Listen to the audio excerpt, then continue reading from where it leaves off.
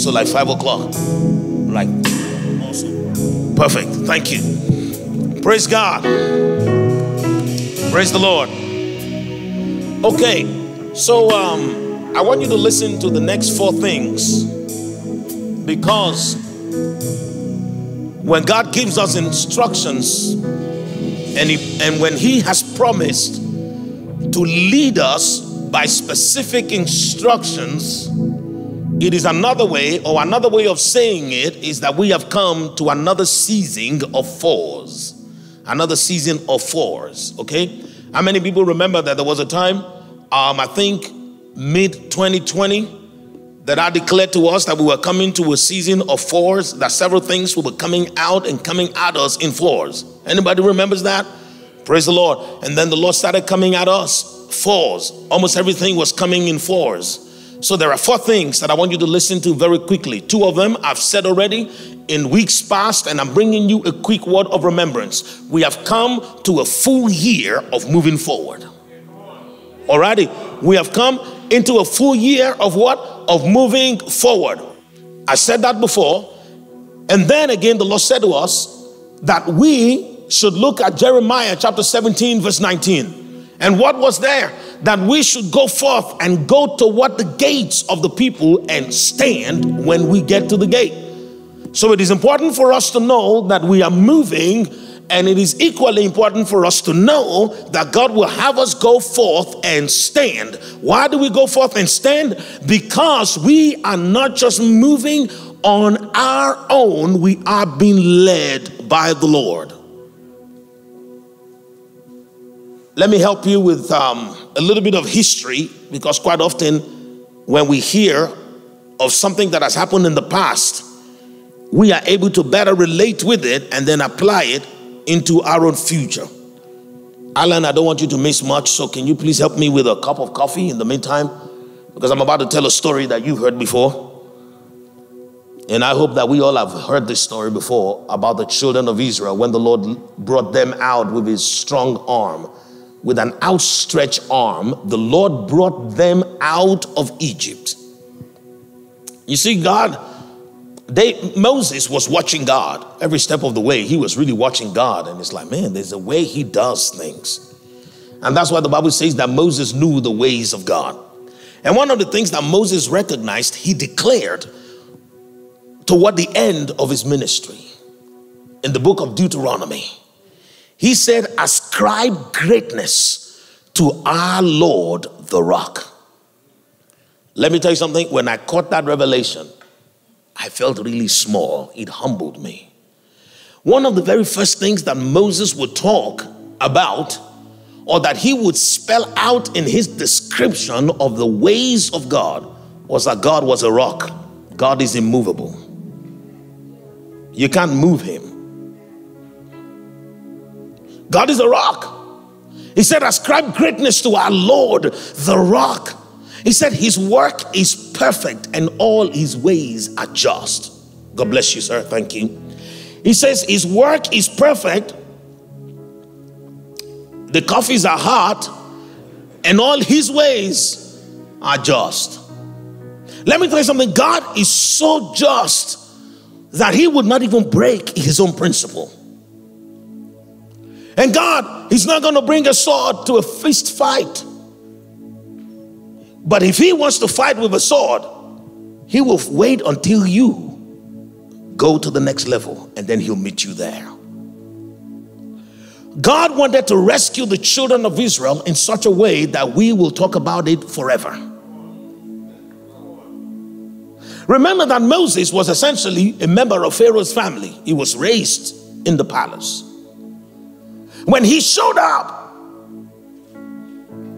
it could have just been a family meeting. I said, I know that I did wrong. I went away all those years, but it's over now. It's been 40 years, you know. So let's let's make this thing happen. And I'm not the same man who left. My rod can turn into a serpent right now, and you've seen it. So why don't you just let my people go? Do you know that the entire experience was almost going in that direction, wherein Pharaoh was actually beginning to consider letting them go into the wilderness? And Pharaoh was like, It's okay, you can go like three days' journey, it's all right. We'll, we'll wait here for you. But how would we have seen the outstretched arm of God?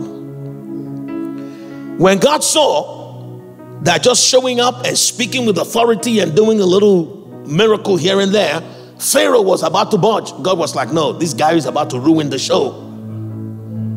There are still people waiting. Where, what, what do you call those things? If you're going to watch a boxing match and people haven't gotten in yet, they're still right on the bleachers, they're still in the foyer buying tickets to come in. So, why would you end the context in round one?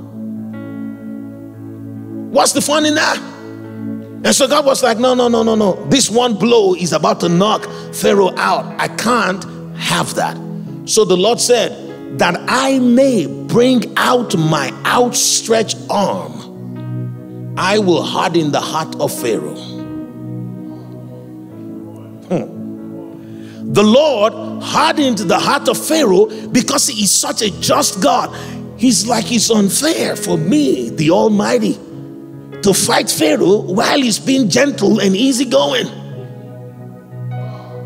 So, what do I need to do? To justify bringing out my outstretched arm. So, basically, God is saying that on a good day, I can get a lot of things done with my hands in my pocket. But that's not fun. I want some fun. I want to bring out my outstretched arm. So, let me harden the heart of Pharaoh.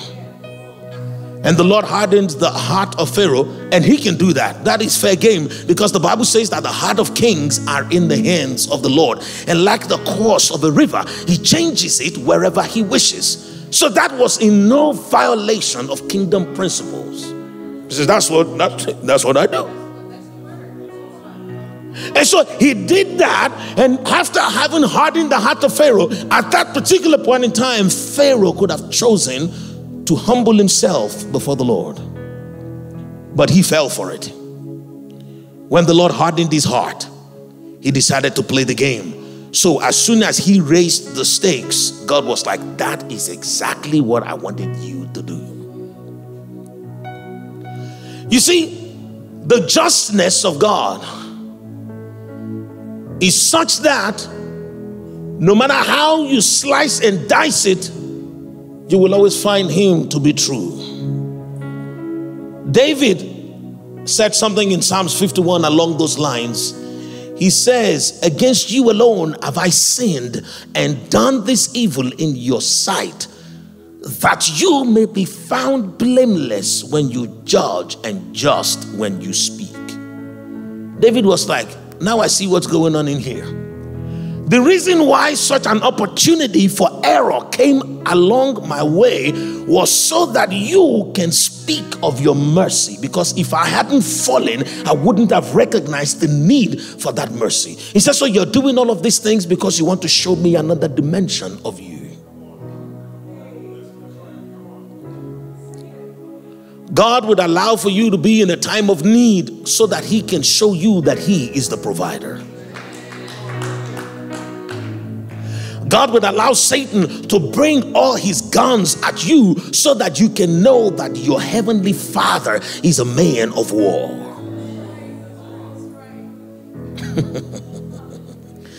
you know, last on Saturday we started talking about rejoicing in tribulations glorying in tribulations because we know that every opposition that we face becomes an opportunity to experience a new dimension of God's potent power that is operable in the life of a man. So God says, I want to bless you, but if I just bless you, why you've only gone through the same thing that everybody else is going through, how does that make me fair? Job was going to be the richest man in the east, and so he had to be the most troubled man from the west.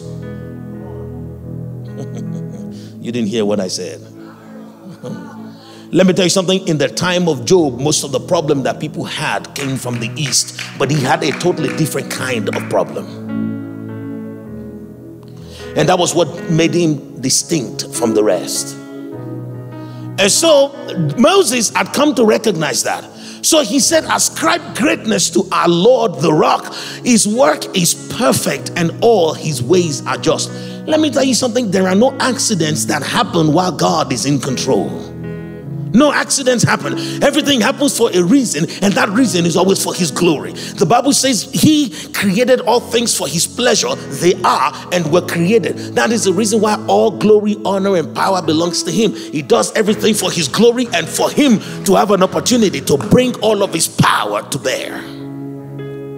So I want you to begin to apply that into your heart and apply that to situations and circumstances that you have gone through that seemed to have put you at a disadvantage and begin to recognize that God is working out a way to show Himself.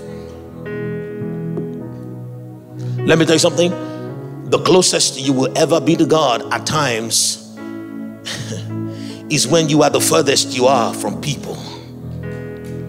When people abandon you, and desert you, and that seems like a disadvantage, it is essentially God saying, I want you all to myself. Ha, Mekus. Let me tell you something. I know that some of y'all here haven't heard the story, but I'm gonna tell you. If you want to tell the gentlemen outside to come in, just encourage them to come in because I don't want them to miss this part. You see, let me say this just encourage them quickly because I don't want you to miss it out either. So don't go there and be preaching the gospel. Just tell them and come back in. Several years ago, I told you the story before. I was the life of the party when I was in my first year.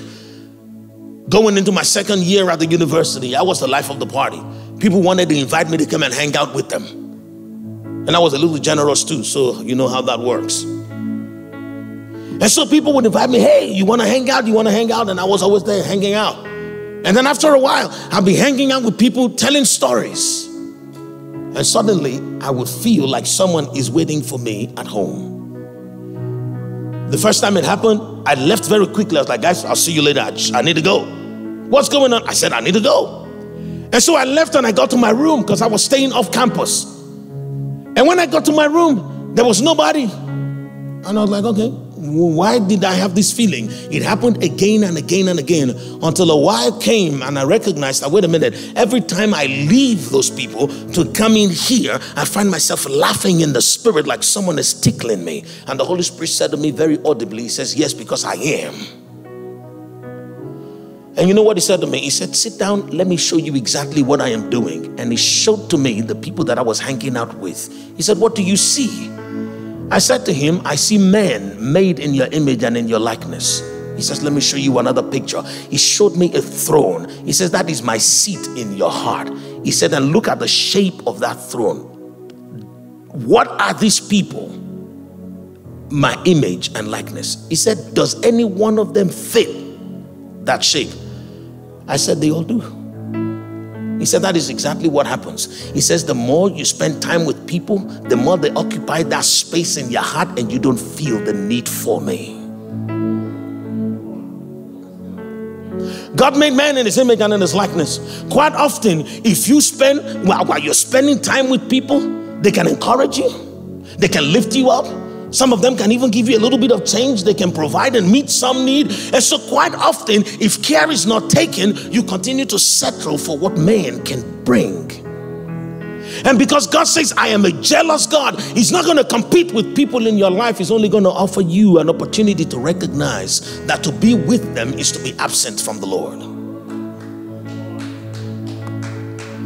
Paul said it this way He said, to be absent from the body is to be present with the Lord. When we are too present with people at times, it means that we are too absent from God.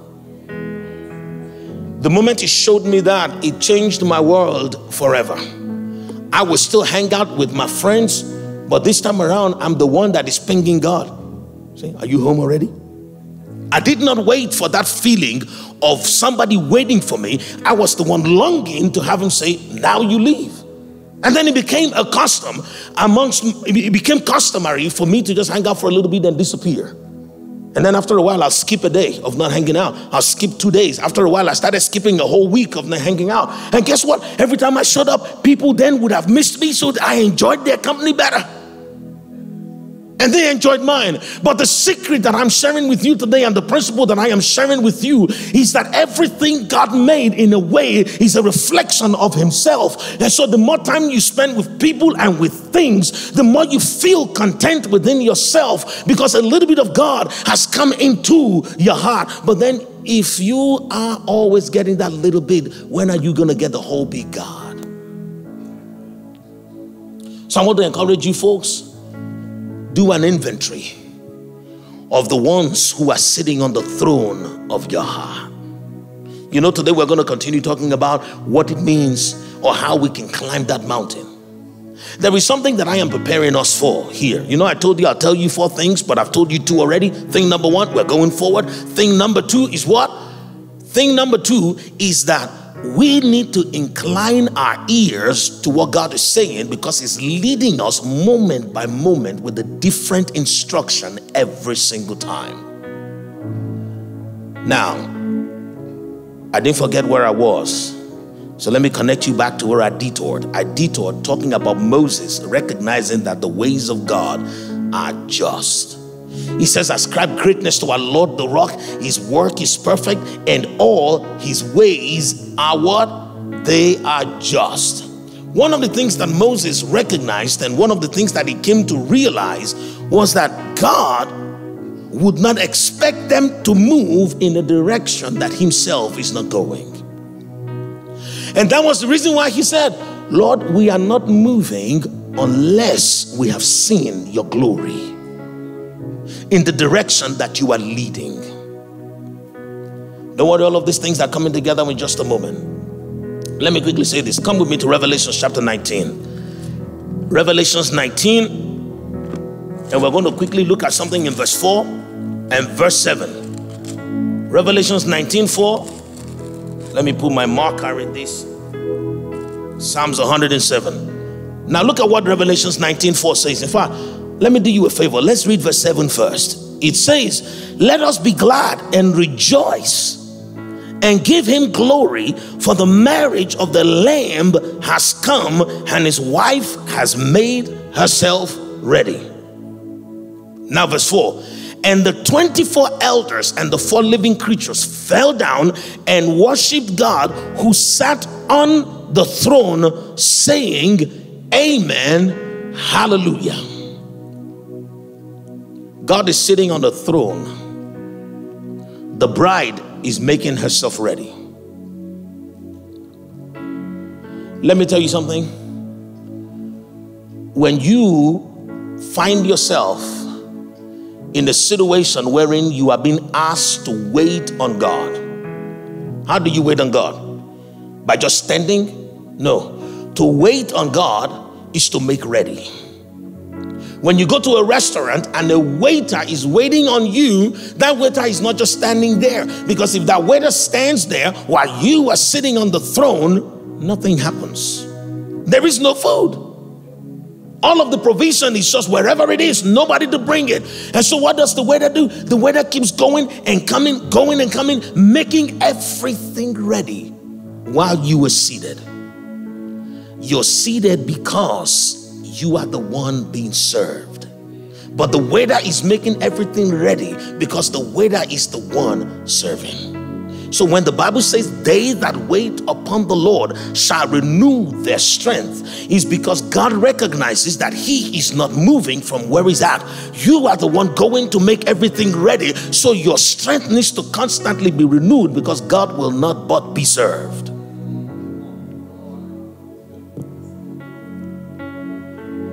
See, let me tell you something, folks. When God wants something, He doesn't expect you to guess. He says something, He speaks to us. So every time we are with Him, we receive an instruction. And once we act on that instruction, the angels minister to us as we return back to Him for the next instruction. The way God wants to lead us in this season is such that whenever we leave His presence to go minister to somebody else in His name, we should minister and return to Him as opposed to pitching a tent with men because they have nothing to replenish you with. You see, because what I want to show us in Psalms 107 requires for us to understand the basic principle of going and coming before the Lord. You see, going and coming before the Lord requires re- you recognizing the one who should be sitting on that throne of your heart. I may go every now and again to go hang out with people, to spend time with friends, to spend time with clients, but I never allow myself to see anybody on that throne other than the master himself.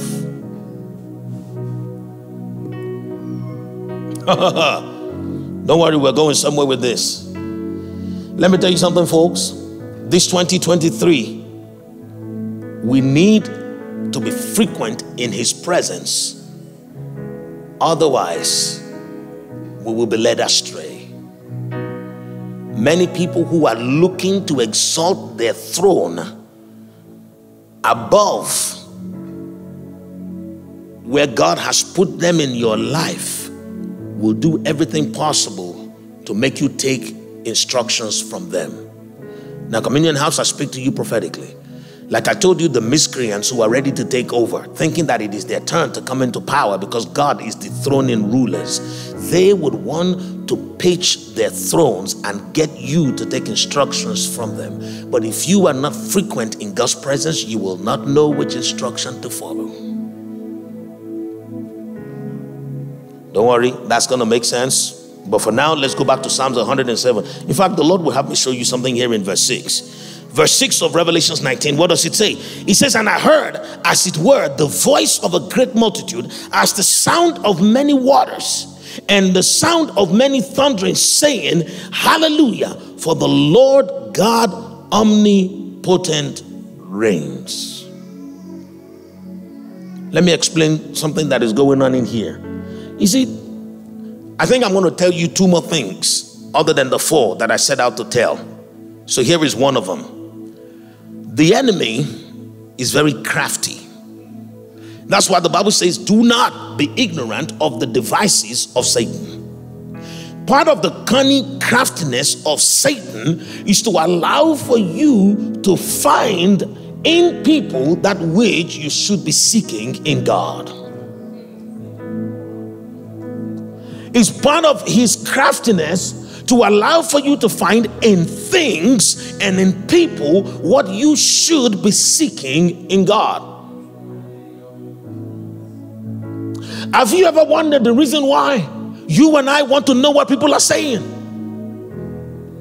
Like, what are they saying about the stock market? What are they saying about crypto? What are they saying about the housing market? What are they saying? Do you know why? I, for a long time, I didn't really know why until the Lord brought me to Revelation chapter 19, verse 6. And He showed to me, He said, Because the voice of the Lord is like thunder upon many waters, the voice of God is like the sound of the multitude. Let me say that again because I don't want you to miss it. You see, your spirit recognizes that the voice of God is like the sound of a multitude. When God speaks, it sounds like what when when John the beloved heard Jesus, he says, The voice of my Lord sounded like thunder upon many waters.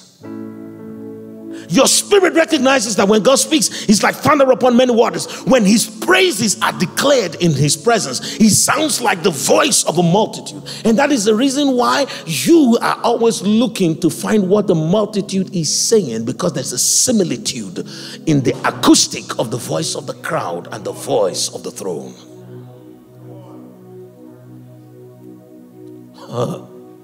But you know how you can determine which one is the voice of the people? And which one is the voice of God? No, no, no, no, no. You see, there is a particular tempo. I had to learn this thing. I sat down and let the Lord teach me. There is a tempo that the voice of the throne makes, and it's this very simple. You just read it. It gives all the glory to God. If you hear any opinion that does not say that God reigns, it's the multitude. You read it here. He says they were saying the Lord God omnipotent reigns. Sometimes it takes knowing the nuances to not fall for the trappings, the trappings of Satan. And the Bible says that God expects for that to be your responsibility. The Bible says, You do not be ignorant of the devices of the crafty. So it is my duty to know exactly how the enemy operates. And if I don't, and if I'm struggling, what do I do? I ask the one who knows, and he will tell me and break it down to me. So when the multitude is speaking and they are not giving glory to God, that he is the one who reigns and that he is the all powerful, if there is anything that is being said that spells impossibility, it is the voice of the multitude because the voice of God is always saying, with him, all things are possible. So let me tell you what's about to happen. You know that there are angels on the earth now, some of whom have never been on the earth, because they are helping the bride to prepare for the Lord.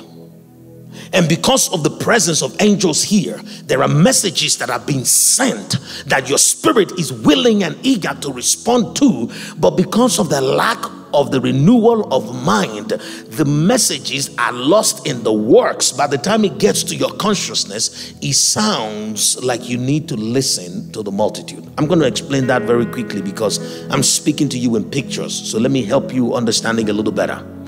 You see, your spirit knows exactly what God sounds like, what the instructions of the angels sound like. The angels who are declaring His glory, your spirit knows because your spirit is in Christ in God at the right hand of the Father. Your spirit is not an alien to the presence of God. Because when the Bible says, In Him we live and move and have our being, He wasn't talking about these two legs that walk around the mall of Georgia looking for things to buy that you do not need. Because that part of you is not in God. That is your physical body is just walking around the street. So the part of you that lives and moves, the part of you that is seated at the right hand of the Father is your spirit. And the Bible says, What part of a man knows the things of that man? The spirit of the man, just like the Holy Spirit knows the things of God. So your spirit knows. But by the time your spirit is trying to communicate through your subconscious to your consciousness what to expect in the natural, it sounds like, oh, the spirit is saying that we should listen to the multitude. And that is why we need the renewal of mind. Otherwise, we will be conformed unto this world. In order for you not to continue to misinterpret what the Spirit is saying, guess what? You need a constant renewal of mind, particularly in the times that we're in, because there is a lot of amplitude in the realm of the Spirit. What do I mean by a lot of amplitude? Things that used to sound faint in the Spirit are now sounding very audible. And the louder a thing is, is not the clearer it is. You know how people say that actions speak louder than words? Do you know that's true? But words will always speak clearer. Maybe not louder, but clearer. So the fact that there is an increase in amplitude in signals coming out of the realm of the spirit because of the angels that are boots on the ground in the season that we're in, and also because the earth itself has been activated. The earth is like an introvert, it doesn't speak very much, but the Bible says that in the last days it will begin to groan because it's been it's been in pain for too long. So the implication of the amplification of the voice of the earth and the voice of angels is also that it is being mimicked by the kingdom of darkness. And that is the reason why the media exists to bombard you with everything that's on the mind of Satan. We need to understand the time that we're in simply because it has never been more critical for us to be able to decipher what the Lord is saying because in the season, God is leading us by what we hear and not what we see. So when God says in 2023, I want you guys to keep advancing, keep moving forward. He says, But you're not just going to take one instruction from me and go. Because if your waiter receives the instruction of what you want and goes and never returns, all you might have for the night might just be a cup of iced tea. Because you ordered your drink, but the waiter never came back to hear your appetizer. Your waiter never waited to hear what you wanted for your entree. And so, guess what happens? The waiter listens to one instruction and goes away. He is worn out because he's not back for renewal, and you are left unsatisfied because your waiter is not delivering. And that's why the Lord is saying, this year, this new season, I need you to know how to separate yourself from the crowd, how to divorce yourself from the influence of mammon, so that something in you is always crying for the sustenance that is in me for you to keep coming back. Because when you come back, you feed me and I feed you. Because the Lord said to us about three weeks ago that at every gate we need an instruction. I said all the six things already. So it's for you to go and listen again and then piece it out. All right? Because my wife told me, she was like, Why must you always try to summarize everything? Because then you just repeat yourself. I said, Okay, I'm going to let people go extract their own summary later. But when I told you I was going to say those things, I already said it. It's just that I had to say it together so that it doesn't seem convoluted. But now I believe that I have prepared your heart for Psalms 107, verse 7. Psalms 107, verse 7, what does it say? We, when we read it the first time, the Holy Spirit said to me, He said, Let the singers sit down, let the people sit down. He said, Because the way you want to say it, no one's going to get it. But now, by the grace of God, we're ready to get it. So, Psalms 107, verse 7. He says, And he led them forth by the right way, that they may go to a city for a dwelling place. The inheritance, the promise of God for you and I is that we will inherit our dwelling place. So when the Lord is saying that I'm going to lead them the right way, He is advancing the instruction that He gave to us at the beginning of the year that we should go forth, but that we should wait at every gate for what else he has to say. The Bible says it would lead us, we will go forth because it will lead us the right way. So let me talk about leading the right way for a moment. There was something that I said earlier, and I want to borrow that. The kingdom of darkness, they've also mustered all of their arsenal to this dimension. So, this is where it's at right now. Everybody's here. You know, I've been saying it for like two years. Everybody is here. I am begging you, for Christ's sake, if you have never heard God, if you've never participated nor engaged in the things of the Spirit, this is the time to do it because it's never been easier. Ask the seers that you know it has never been easier to see into the realm of the Spirit. You just have to want it, you just have to desire it. You just have to pick up your Bible to study. I've asked, I've taken polls again and again here that the Bible is more, uh, what's the word now? Is more easily comprehensible in the season that we're in than any other season prior. Simply because it's, it's come to life, because every everything has come to this point. We have come to the zero hour of power. Everything is here. Hmm. Let me remind you of something that I said in 2021. Because I want you to recognize that everything is here has several implications. And you are not supposed to be a bystander nor an onlooker. You are supposed to be participating in what God and heaven are doing on the earth. Let me tell you the reason why you have to volunteer to participate. Number one, the Bible says, in the days of the Lord's power, the people shall be willing. Another translation says, in the days of heaven's power, the people shall be volunteers. Don't worry, please stay focused. Let's all come together here because I don't want you to miss this. What is the day of the Lord's power? Moses said, Our Lord is the rock. The angels declare his praises that he's the omnipotent God, omnipotent. With him, all things are possible. He is the rock. Whoever hits him gets broken. Whoever he hates, he grinds into powder. He said, but his ways are just. So, with all that power that he has, he's only going to bring his power when power is required. Okay, there you go. He will only bring his power when power is required. So let us apply that to the equation that I stated earlier on that the Bible says that in the day that God brings his power, the people shall be volunteers. The Holy Spirit said to me, He said, it is more like the people should be volunteers. And I'd explain what that means. The people who have been following the instructions of God will know that the natural thing for them to do is to volunteer to participate in whatever God wants to do with that power. Because we know that he doesn't always just bring his power. When he brings his power because he is just, is because that power is required. I gave you an incident, an instance in the Old Testament when God brought his power. Why did he bring his power? Because Pharaoh was being difficult. Even though he was the one who had in his heart. Let's put that aside. But Pharaoh was being difficult. Do you know what Pharaoh did?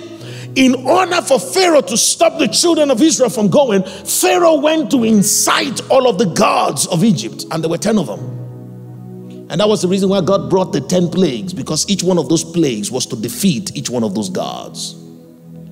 I've already told you before, all of the gods they worship, the frog, the blood, everything, even the sun. That was why darkness came. Darkness came because of Ra. Because all of their gods that they were worshiping, God defeated them one by one. And Pharaoh was not involved in his gods initially because he thought it was just himself and his old cousin. But God was like, No, I don't want to fight you. That's not going to be fair. You are a man.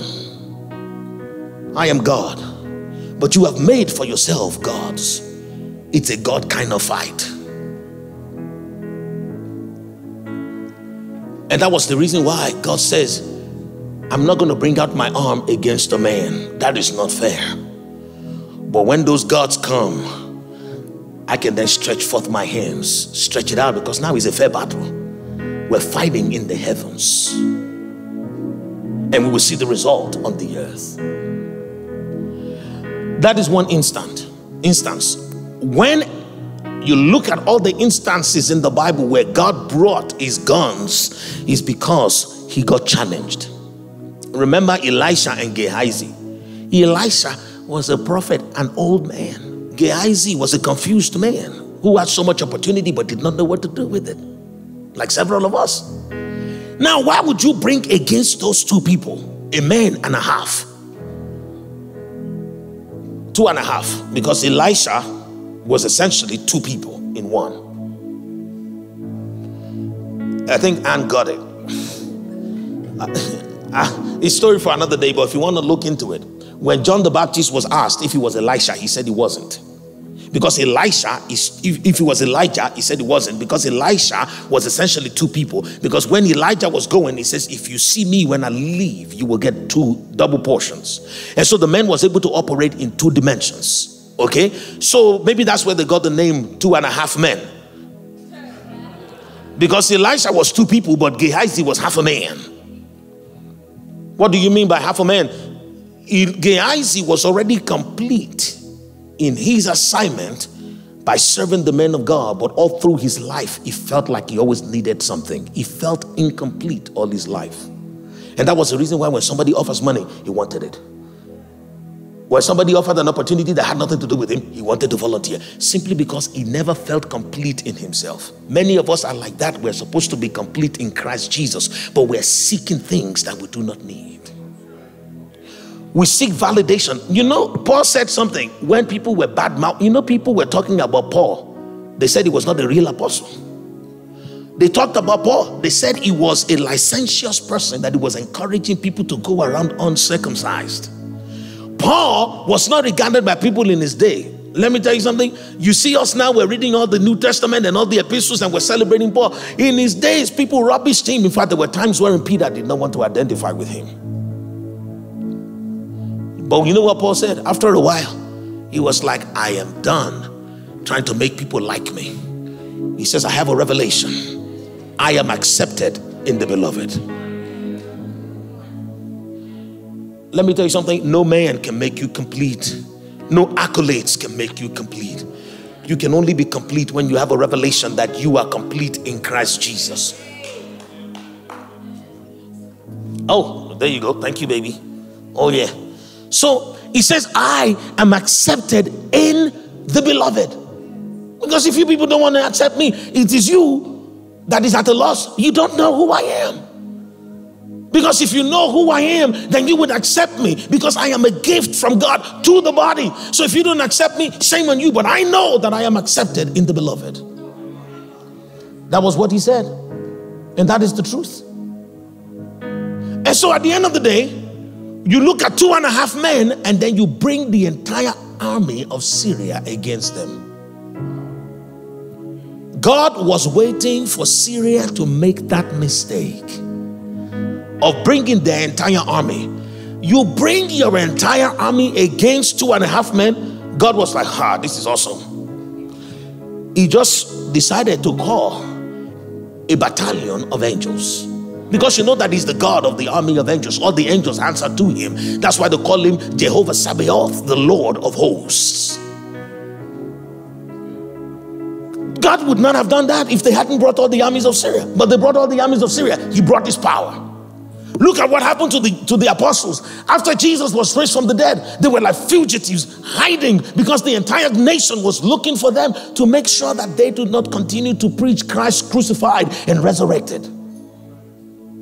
And because of all the opposition, they were hiding all in the upper room. Nobody could really go anywhere. In fact, do you know that the Bible says that of the people who were there on the day, there were only 120 because they had a register of about 550 or so people who were awaiting the return of the Lord Jesus Christ, but only 120 could make it there on the day. The opposition was so much. And so, what did God do? God brought the power. In Acts chapter 4, they forbade them from using the name of Jesus. And guess what happened? God brought the power. God only brings the power when it is required. I'm going to wrap it up in a minute because I see Natalie's on the edge of her seat. I tell you what, eh, I, I, see, I said it and then she got up. Praise the Lord. God bless you, sis. So at the end of the day, before somebody else leaves, let's wrap it up. When the Lord says, In the day of my power, the people shall be volunteers, God is saying, If you do not volunteer to come and serve with me in the day that I bring my power, Satan will recruit you into his army. So the reason why we need to learn how to pay attention to what God is saying is because Satan is always is also at the same time dishing out instructions. So the only way by which we will continue to be led the right way is to continue to pay attention to what God is saying. And how do you pay attention to what God is saying? David says, I will incline my ears to him. And how do you incline your ears to him? I can't incline my ears to Charles. Where is that? To incline your ear means to move close and to lean in. That is what a waiter does. And so, if we will be led aright by the Lord in these times that we're in, we need to develop the culture of separating ourselves from the crowd and aligning ourselves ourselves with God because we also need to hear his voice and the multitude of angels that are speaking. It is because of the times that we're in. Let me say this. I started saying it, but I didn't finish. Let me finish painting this picture for you. The fact that we have angels here in numbers that we've never seen before. The fact that the host of heaven is present here is indicative of the fact that the enemy was the first to assemble his army. The army of demons. The army of what? Of, of, of what do you call that spirit? The army of demons that are led by the reprobate spirit is on the earth. You don't need anybody to tell you, you already know. If you look at the spate of immorality and wickedness and deception that is in the world, it tells you one thing they are here and they're perpetrating their evil. And that is the reason why the Lord says it is now okay for his angels to be boots on the ground. God doesn't just bring his power if there is no opposition. The opposition is here, but the power of the Lord is also here. But let me tell you something about the opposition. The opposition that we are fighting against, they were trained in the courts of heaven because they used to serve in the army of God. Because you know, Satan pulled a third of the stars in the heaven. And the Bible says the dragon, having pulled a third of the stars in the heaven, was spewing water out of its mouth after the woman and her child and her children who were in the wilderness. The woman and her children refers to the body of Christ because Jesus was the first son that the woman had that was caught up to heaven. Revelation chapter 12. If you're not familiar with the story, please get yourself familiar with it. It is the is one of the is one of the most Okay, maybe we can stop distributing that thing. I don't want people to be too distracted. Thank you, Alan. See, recognizing your place in Revelations 12 allows for you to know exactly what to do in the times that we're in. So, the third of the angels, those stars that were pulled by the dragon, they were the angels that fell from heaven. So, they know exactly the order of heaven. And that is the reason why they can easily trick your heart because they know that you were made for His presence. You were made for His instructions. And the Bible is not even keeping us in the dark. God said to us, He said, Be mindful because Satan in the last days will come with his angels and they look like angels of light. He says they will come at you like angels of light. Satan will come and his messengers too because they know how to fake light because they were of the light. Satan's original name was called Lucifer, the light bearer. And those angels that fell, God calls them stars. So there is so much closeness in their approach and in the approach of the angels who are on your side. So you must sharpen your discernment, otherwise, you will be marching in the wrong army and still be feeling good with yourself. And that is the reason why it was called the great deception. Because people are deceived and did not they did not even know. And it's happening again. Do you know how many people now who think they are fighting on the Lord's side who are literally fighting against God? Jesus said, as it, as it was in my day, so shall it be in your day. He said, What they did to me, they will do to you. And in the time of Jesus, the people who killed Jesus thought they were doing God a favor. The ones who crucified him, they crucified him because they said he was blasphemous. They crucified him because they said he was doing too much. They crucified him because they thought they were fighting for God. What they did not know was that they were marching to the beats of the horde of hell. And the same thing is happening again. And so the Lord is saying, if I am going to lead you to go forth, the only way to lead you is to lead you in the right way because my ways are just. But you need that instruction per time because that's how we're going to beat them. Because if He gives you what the instruction, you know what you're going to do? You know what God has experienced with us? When He gives us all the instruction, we modify it we interpret it the way we want. After a while, you don't remember the last, the fourth thing. And you're like, do you remember the fourth thing that God said? And the other person is like, I don't, but I think is this. And both of you just make something up and then you go with it. And God is like, I don't want you going with your own instructions. I want you to come so that it's fresh every time. You and I can no longer be strangers to the presence of God.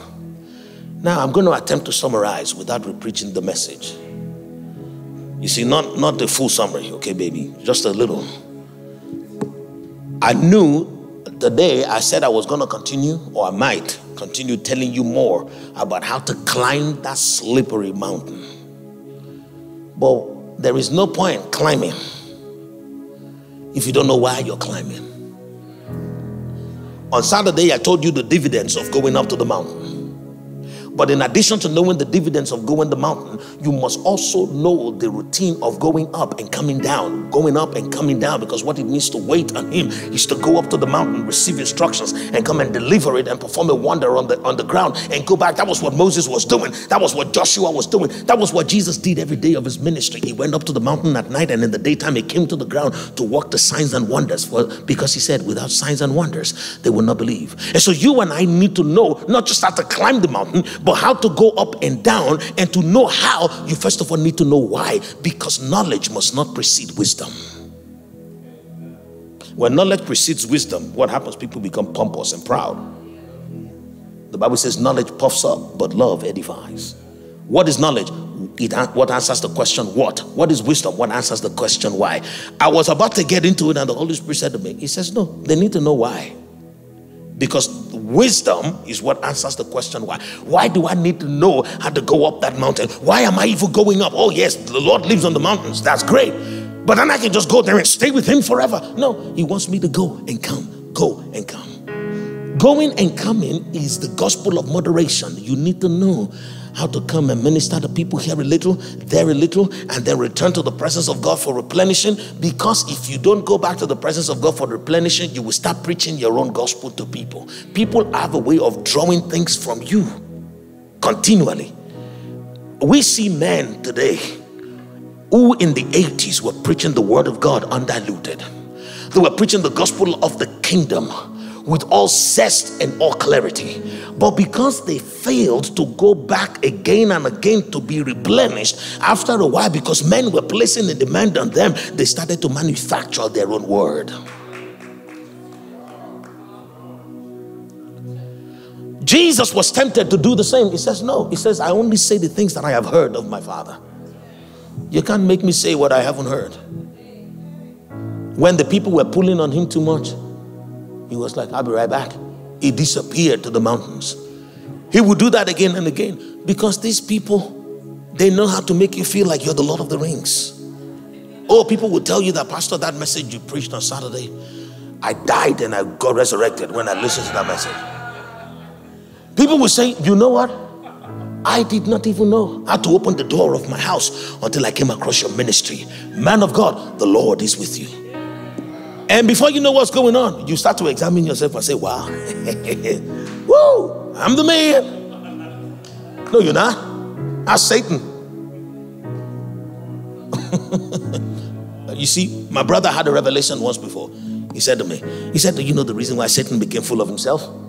He said, Because he was the cherubim the Bible says he was that anointed cherub whose wings covered the glory around the throne. So, because he was always around the throne, God was here and God was being praised. Some of the praise was hitting him, and he thought he was the one being magnified.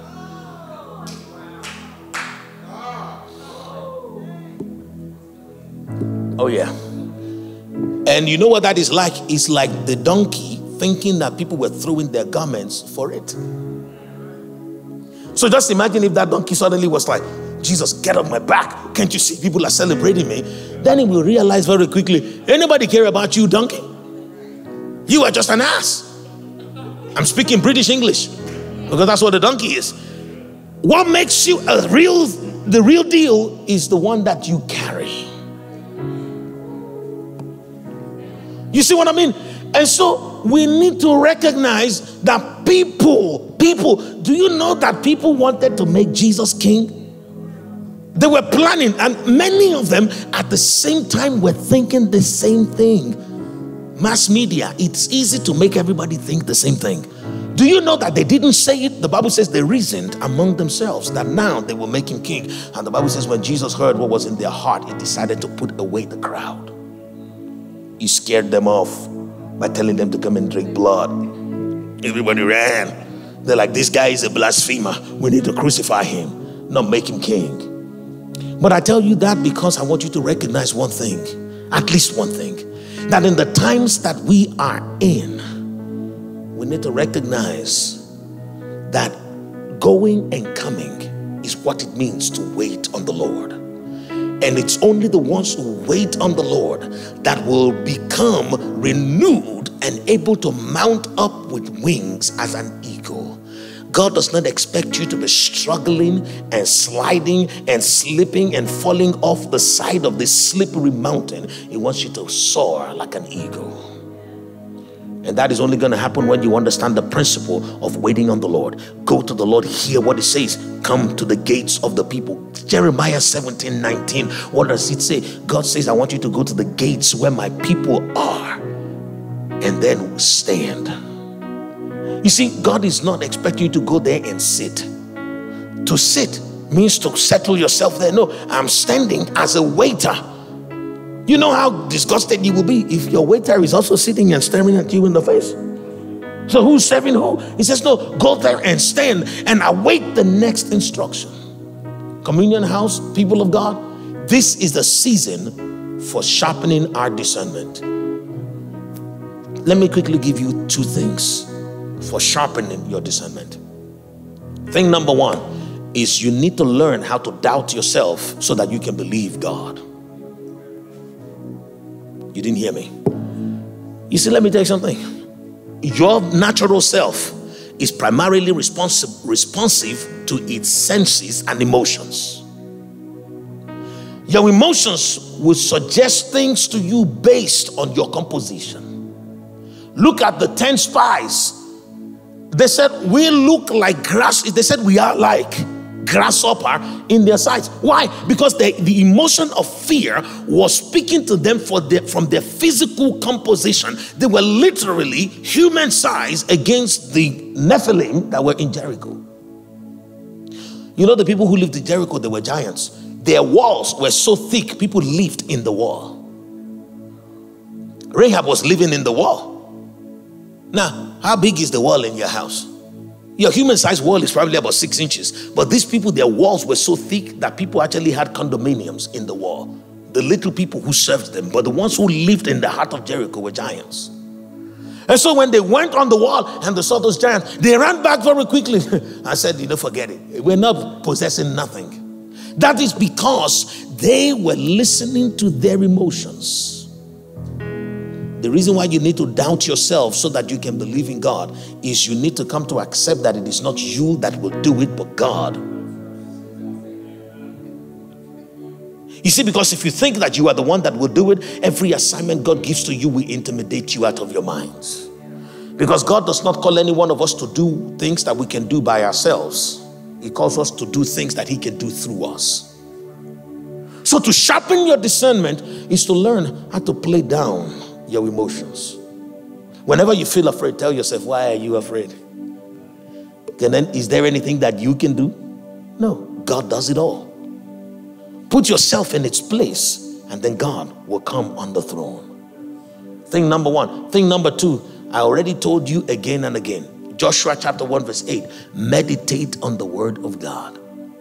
Get yourself familiar with the word of God. Speak that word of God. Know what it sounds like so that when the enemy comes and they're trying to put if where God has not put an if, when the devil is coming to put a question mark when God has put a period, you know, if I say that your name is jo- your name is Matthew, that is a statement.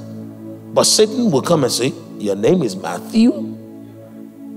You see what I mean? But God says your name is Matthew. If you keep putting a question mark where God has put a period, you will follow the leading of Satan because that is what he does. But how do you know the difference between your name is Matthew and your name is Matthew? By having spoken it enough, what God has said. So when somebody puts an inflection on it, you're like, no, no, no, no, no. That's not what he said. Those two things you needed. I know we'll be meditating on a couple of scriptures, but in order for us to break bread, now please let everybody have the communion and then we're going to break bread. I'm going to just quickly read to us from Philippians chapter 4, verse 8. That is our scripture for breaking bread today. And while Alan is still giving the communion, I'm going to tell us the reason why it is our scripture for today. You see, one of the things that the Lord is making clear is that you've all seen Psalms 107, verse 7. He says, I'm going to lead you the right way so that you can go forth right? And the way that He's going to lead us is by instruction at every turn that we get to, every juncture that we get to. Gone are the days wherein the Lord will say to you, I want you to go to the house of Matthew and pray for him. And then you will get to the house of Matthew and just begin to pray. Because the Lord said to go and pray. No, these days when you get to the house of Matthew, you will say, Brother Matthew, the Lord has sent me here to pray. But hold on a second. Let me hear what He wants me to pray. You engage Him every step of the way. Now, this scripture, the Lord gave me this scripture as we're breaking bread because of the fact that there is a kind of atmosphere that you need to carry in your heart all the time for you to hear very clearly what God is saying. It is not the amplitude that makes clear what is being said, not the volume. what makes clear what is being said it's, is the lack of noise. You know, I can be speaking to you through this microphone and you can hear me. But the moment he cranks up his piano, or perhaps he starts playing a very loud music, even though I'm still speaking at the same tempo, you don't hear me anymore because there is noise. God is saying, I want y'all to learn how to remove noise from your heart so that you can hear me. Many of us truly want to volunteer. We want to be in God's service. We want to do what God is saying, but it's just that we don't hear. We're not clear. We're a little confused. So, this is what the Lord is saying to do in this season. So, Psalms 103, verse 7. We started meditating on that one, and then we went to Jeremiah chapter 17, verse 19, and then we went to which one again? We went to Joshua chapter 1, verse 8, right? And so now this is another one that we will be meditating upon in this season. And it says, finally, brethren, this is the book of Philippians, chapter 4, verse 8. It's interesting because Philippians means, Philip means the lover of horses. So anybody that loves to really tie into what God is doing in this season and go forth like a horse, you need to pay attention here. He says, finally, brethren, whatever things are true, whatever things are pure. Let's start again. Finally, brethren, whatever things are true, whatever things are noble, whatever things are just, whatever things are pure, whatever things are lovely, whatever things are of a good report, if there is any virtue, if there is what? Any virtue, and if there's anything praiseworthy, meditate on these things. Folks, as we break bread today, I want us to renew our commitment to meditating on the things that are noble, the things that are true, the things that are pure, the things that are of a good report. Let me say this to the people that are politically a little bit more politically active than I am. In this next election, Listen to what your candidate has to say about what they want to do, as opposed to what they're saying against the opposition. Let me say this again. Whatever your candidate, the one that you elect to follow, listen to what they have to say about what they will do. The moment they start talking down the opposition, cut it off because it is not a noble thing to do. It is not a what? A noble thing to do. Does God come to you telling you bad things about Satan? No. He tells you good things about himself. About himself, he says, "I am the Lord your God, the one who brought you out of the land of Egypt. I have sworn by myself, and I will not relent that I will make your name great, that I will keep your descendants upon the face of the earth, that you will not like a man upon the throne." The Lord tells you the things that He will do. He doesn't spend His time telling you that the devil is not good. If anything at all, he says to you, mind your business. Don't speak evil of dignitaries. In the season that we're in, if we will not march to the beats of Satan and find ourselves serving Satan against God, then we need to make sure that we're guarding the gates of our heart against the things that are not praiseworthy. Now, one thing that we read that I did not explain which I'm just going to quickly chip in here, is that when God told his people in Jeremiah 17 19 to go to the gates, which gate was he talking about? He was talking about the gate where Judah was proceeding from, and Judah means praise. Anybody that is talking down the other is not the person you want to listen to. Whatsoever things are true, whatsoever things are noble, pure, of a good report, if there is any virtue, if there's any praise. Meditate on these things. If you're listening to the news and all of what they're talking about is robbery at the gas station, murder on the streets, just go from there. Because those things are not of a good report. Shield your heart from those things. You know why? You know, I told you that I've seen the angels, and the Lord's also giving me an insight into the hordes of hell what you have is what you give. Satan and his angels have been so disconnected from the presence of God. All they have right now to give is guile, is negativity, is pain, is sorrow, is all those things because that's what they have. And so when you're hearing those things, you know who you're listening to. The Lord is speaking, Alan, and is speaking expressly. He says, whether you turn to the left or to the right, it is my commitment to make sure that you hear a voice telling you this is the way. The Lord will always tell you the way. He said it again I will lead you the right way, but you must not tolerate noise because the noise can corrupt my signal that is coming into your spirit. And that is the reason why the Lord made me tell you that story of myself how I had to separate myself from the crowd of the people and seek Him. Because let me tell you something, some of those people sound just like their, their father who made them, but they're just not saying what their father says. You can have the voice of God, but not speak the word of God. And that has happened multiple, multiple times. A prime example is Peter. Peter spoke by the Holy Spirit. Jesus recognized it, but with the same voice, he started to speak on behalf of Satan. And Jesus says, Get thee behind me, O Satan. So it is possible for you to hang out with people who actually sound spiritual. They sound very well calculated when it comes to kingdom principles, but in reality, they're not speaking the heart of God for the now. And so basically, they have become Satan in your ears. And the Lord is saying, here a little, there a little. You need to know exactly when to withdraw your step from the house of Potiphar.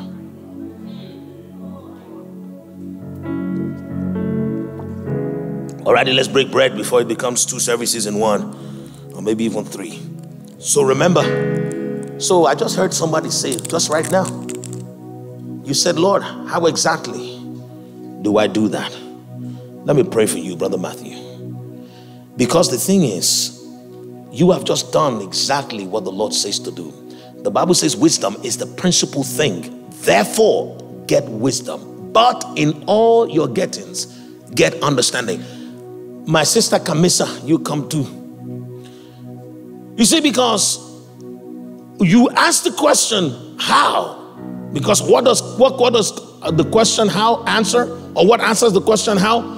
Understanding. So you're like, okay, God, this is how you want me to comport myself in this season. But how am I going to do that? Let me show you one thing very quickly. I'm not even going to give you, I'm going to kind of lending you. Matthew chapter 7.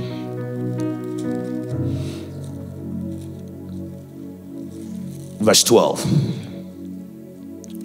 It says, Therefore, whatsoever you want men to do to you, do also to them. The way you will navigate in this season without the voice of negativity producing noises in your heart is for you to speak positive. You will speak as though you have come to the gates of Judah. Find things that are praiseworthy, even in people that have been talked down. Find things that are of virtue, even in situations that somewhat have been compromised. Simply because if you do not lead the charge, the enemy will not recognize you as one who is in charge. So you have to lead the charge. And this goes for every single one of us. Apply your heart to wisdom. Ah, the Lord says to give you one more thing. Come to this is for everybody. Matthew chapter 13, verse 2.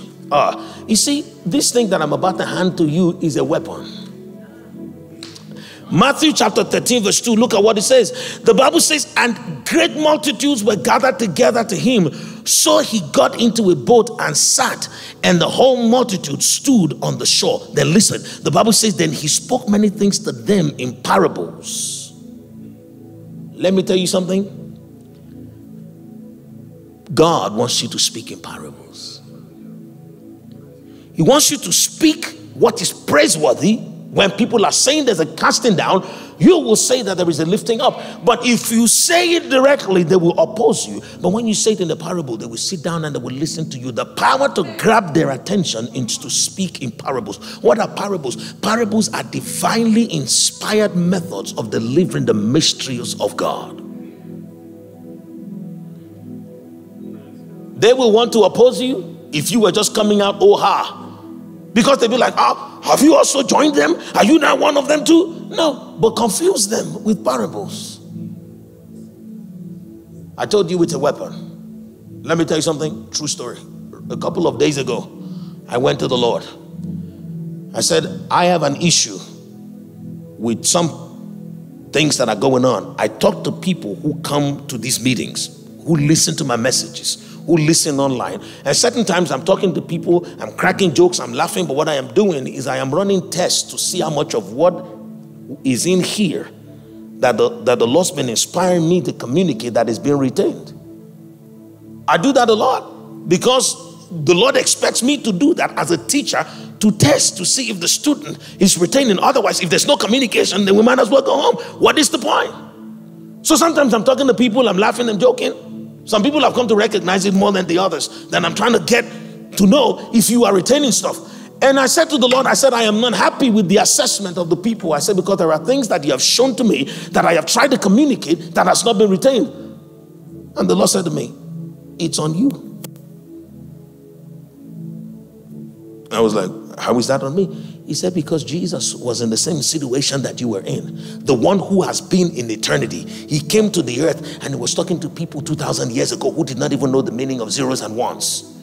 They didn't understand binary. They didn't understand the science and the physics that you know now. So, how are they able to understand the mysteries of heaven? Because the Bible says it is through understanding the physical elements of this world that we have an understanding of the invisible attributes of God. They did not know what you knew. And Jesus, who knows more than you do, had to communicate with them. The Holy Spirit said to me that Jesus overcame his challenge. And it's on you to overcome yours by learning from the best and the Holy Spirit said to me, He said, You just need more parables. This was about maybe four or five days ago. We had this conversation. I stood in the mirror because I was dissatisfied. And so I needed to have my, my eyes on the issue. And the Lord said to me, Well, you know what to do. So I am sharing with you what has been revealed to me to be a weapon for cracking the code.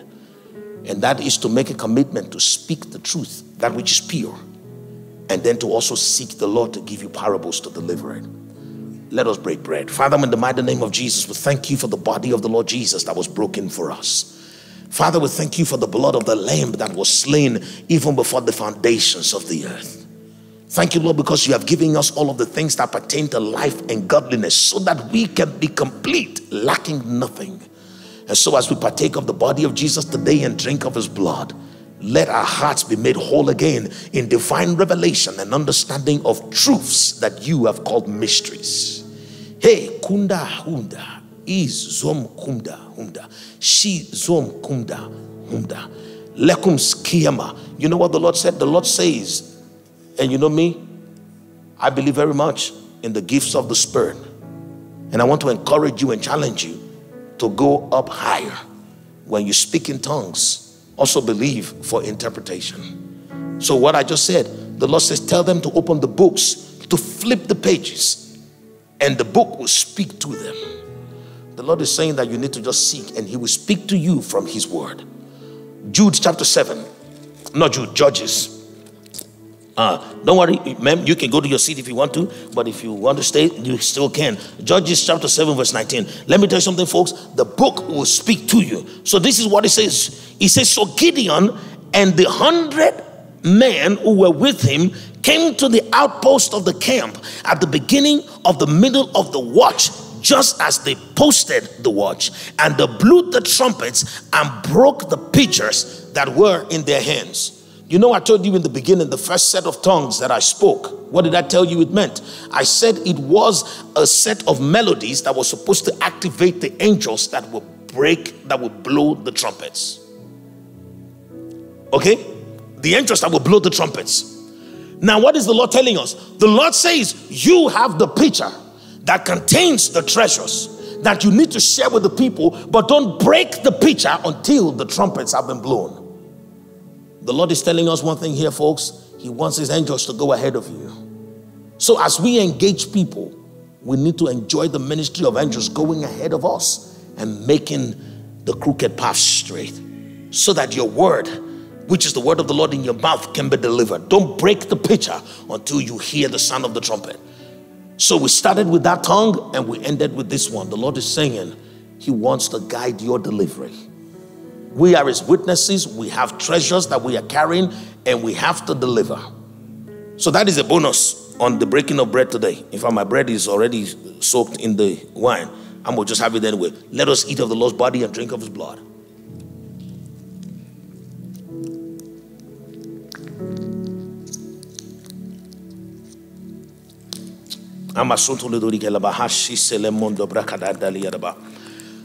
I'm going to just pray for you and bless you, Emmanuel. As I was having that, I saw that somebody is there who wants to take advantage of you. They don't mean well. But the Lord says, when they try to find you, you will not be where they expect you to be. The Lord has chosen to protect you and cloak you from the opposition. You know, there are certain times that we forget that we're at war and we just think everybody is nice and friendly and they're just minding their business. No, there are people who are instruments in the hands of Satan. They will come seeking you, but they will not find you. And the Lord will let you know what He has shielded you from that He may give Him glory. So, very quickly, we're going to have the offering instructions and we're going to have the announcements. I want to encourage you, please don't be in a hurry. Watch all the instruction slides and also prepare to give your offering. And I'm going to just bless the offering in advance. Father, in Jesus' name. Okay, alrighty. The offerings, you bring them into the offering bowl once they get here. Um, someone else is going to bless them. For the rest of us, can I get your attention one minute? Very quickly. Um, I want you all to read Matthew chapter 19 ahead of the next meeting. Alrighty, read Matthew chapter 19 ahead of the next meeting. Focus on verse 7. Let the Lord speak to you. I'm going to get you started. I'm going to tell you one thing and you can listen as you're preparing your offering. But please don't be in a hurry to get out of here because there are so many announcements. The women's conference is coming up. Um, we're also having a cookout, right? Can I say that? Oh, yeah, what, what day is it again? The 16th, which is a Sunday, 16th, 16th of, of, of October. We're having a cookout at our house. Anybody missed the house just yet? Praise the Lord. So we're having a cookout at the house. The weather is going to be phenomenal. It's going to be great. So, what I want you to do is start, just get yourself familiar with all of Matthew 19. Some of you may have to start from Matthew chapter 1, okay? Because if you just jump right into Matthew 19, you know what's going to happen to you. So, you might need to start from the beginning, but read Matthew 19 Verse 7 is where I want to show you a little bit of. See, let me tell you what I want to do. Because the Lord said to me to paint the picture so your spirit can know what's about to happen. There is a calibrator in your heart that allows your heart to be in sync with the frequency of what God is saying now. And you need to know how to calibrate so that you are in sync with His frequency. The Bible says Jesus is the good shepherd, and His sheep know His voice. So now look at what He says, verse 7 of Matthew chapter 19. He says, And they said to him, Why did Moses command to give a certificate of divorce to put her away?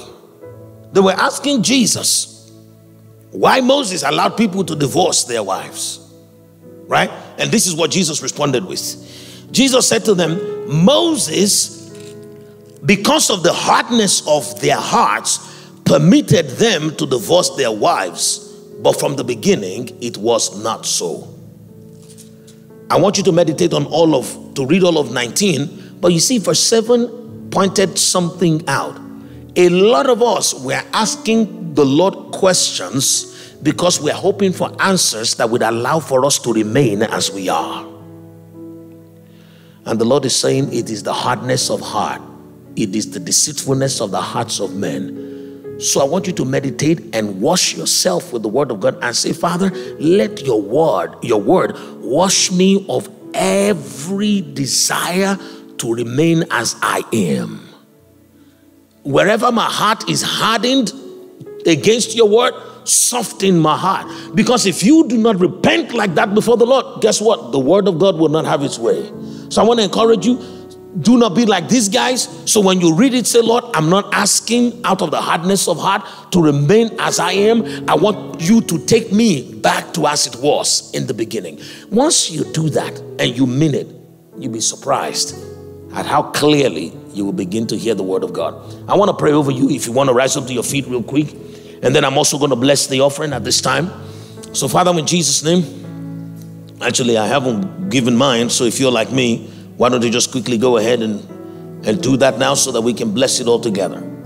Mekundesi, mekundesi, im mekundesi, mekundesi, im mekundesi, karum stia im mekundesi. Father, we thank you, Lord, in the mighty name of Jesus. Ram So I'm in the spirit line and I'm excited. um, even as I was speaking, as I was giving my offering, I had this time around an angel of the Lord was repeating in English what I was saying in tongues. And he said to me that what I had just declared in tongues is that I will go through this season and I will land on my feet ready for the next. Many seasons of life have come and they have found us on our faces. They have found us in defeat. So we spend most of the season trying to recover. And by the time we recover, another season has come. And so the Lord is saying it is best for you to be standing even at the beginning of the next season. And so I want to share that with you. Let that also be your testimony that through this season, you will go through this season and remain standing on your feet as you welcome in the next season. The Lord is doing great things amongst us. Praise the Lord. Hallelujah. Praise the Lord. Anybody else with another envelope before we do it? Anybody? Praise the Lord. Father, in Jesus' name, we thank you for this moment that we have had in your in your presence fellowshipping with one another and learning from your holy spirit through the prophetic teaching gift that you have inseminated amongst us at this time. Lord we thank you for that and we also thank you for the opportunity to have been able to honor you once again with our substance. Lord may it all come before you the praises and the offerings as a sweet smelling savor in the mighty name of jesus there is no bird from hell and no care of life that would take your word from our hearts as we go on to meditate in the mighty name of Jesus. Praise the Lord. Hallelujah. God bless you all. And thanks for